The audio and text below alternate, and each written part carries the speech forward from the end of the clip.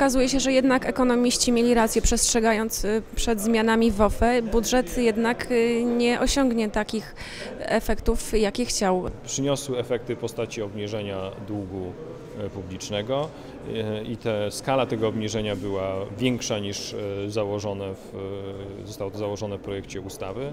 E, Co więcej, dochody związane z, z dodatkowym napływem składki zapowiada się na to, że, że będą wyższe niż założone, i, a koszty obsługi długi, długu obniżone jeszcze więcej e, niż założono w e, projekcie ustawy.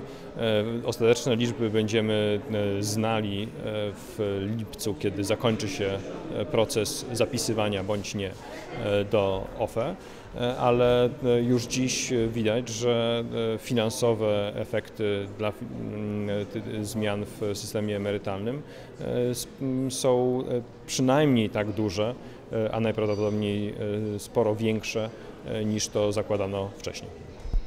To skąd ta reorganizacja w Ministerstwie Finansów, o której Pan dzisiaj wspominał podczas wystąpienia? E, To jest szukanie oszczędności?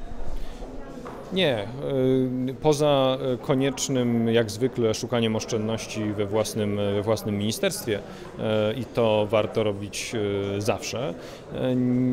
Polska w, ogranicza deficyt finansów publicznych zgodnie z zadaną ścieżką, nawet nieco szybciej, patrząc na prognozy Komisji Europejskiej.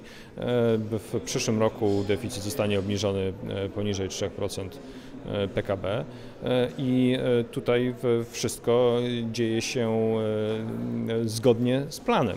E, I szukać e, dodatkowych oszczędności e, nie potrzebujemy. Stąd też koncentrujemy się na e, nowym zadaniu, e, a właściwie na zintensyfikowaniu zadania, które no zawsze e, powinno być robione, e, mianowicie e, lepszym wydawaniu pieniędzy w ramach tych samych kwot. E, I temu właśnie mają służyć zmiany w Ministerstwie Finansów.